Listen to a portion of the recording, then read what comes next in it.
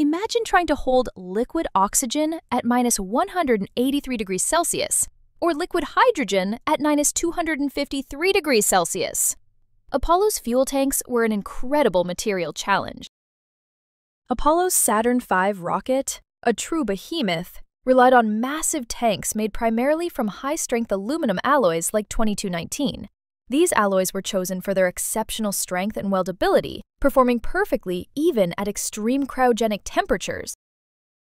To prevent these super cold fuels from boiling off too quickly, the Saturn V's main tanks used a critical foam-based insulation applied to their exterior. This layered foam created a highly effective thermal barrier against the searing heat of launch and atmospheric friction, while multi-layer insulation, or MLI, was used on other spacecraft and upper stages, the primary launch tanks used this specialized foam.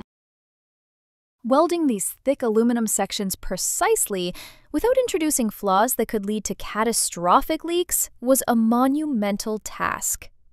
Specialized welding techniques, like gas metal arc welding and gas tungsten arc welding, were meticulously perfected for these crucial components, ensuring their absolute integrity. Holding super cold fuel was just one of Apollo's material miracles. What other extreme conditions did Apollo overcome? Let us know in the comments.